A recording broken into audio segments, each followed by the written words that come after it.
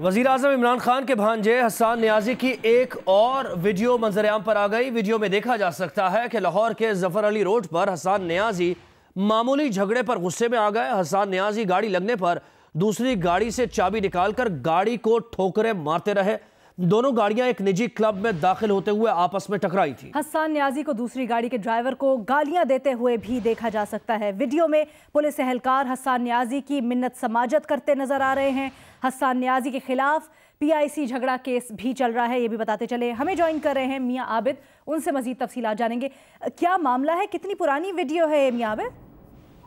جی یہ حسان نیازی جو کہ وزیر اعظم کے بھانجے ہیں، آج ان کی یہ دوسری ویڈیو سامنے آئی ہے، جس میں وہ ایک گاڑی جس میں جو ان کی گاڑی کے ساتھ ٹکرائی تو اس کے ڈرائیور کو انہوں نے گالیاں دی اور دھمکیاں دی اور اس کے بعد اس کی چابی نکال کر ان کی گاڑی کو ٹھوکرے ماری۔ یہ آج سے ابھی دو گھنٹے پہلے کا واقعہ ہے۔ یہ مال روڈ سے ملکہ ظفر علی روڈ ہے، وہاں پہ ایک نجی کلب ہے، جس کے گیٹ پر انٹرس کے دوران جو ہے وہ دو گاڑیاں معمولی طور پر ٹکرائی تو حسان نیازی جی جو ہے وہ غصے میں آ گئے اور ویڈیو میں دیکھا جا سکتا ہے کہ وہ بار بار گاڑی کو ٹھوکرے مار رہے ہیں اور گالیاں مسلسل نکال رہے ہیں اس ڈرائیور کو اور اس کو دھمکیاں دے رہے ہیں۔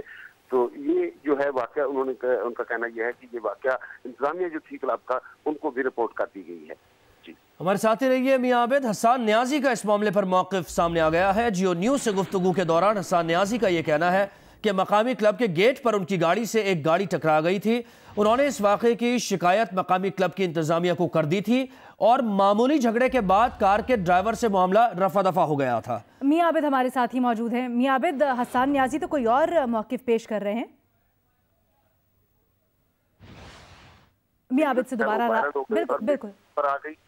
تو اس میں ان کا کہنا یہ ہے کہ میں نے کلب انتظامیہ کو جو ہے وہ اس کی شکایت کر دی ہے اور واقعہ جو تھا معمولی تھا لیکن ویڈیو میں دیکھا جا سکتا ہے۔ اب اس کے علاوہ ان کے پاس شاید کہنے کو کچھ نہیں ہے کہ کلب کی انتظامیہ جو ہے ان کو انہوں نے اپنی شکایت کر دی ہے جبکہ دوسرے ڈرائیور نے زیادہ طور کہا جا رہا ہے کہ اس نے بھی شکایت کر دی ہے کلب انتظامیہ کو۔ تو دونوں گاڑیاں جو ہیں وہ اب وہاں سے جا چکی ہیں۔ اچھا ایک پولیس اہلکار تو وہاں پر دیکھا جا سکتا ہے۔ ہاں۔ تو کیا کوئی مقدمہ درج ہوا ہے یا جس شہری سے ان کا جھگڑا ہوا اس نے کوئی رپورٹ کیا یہ؟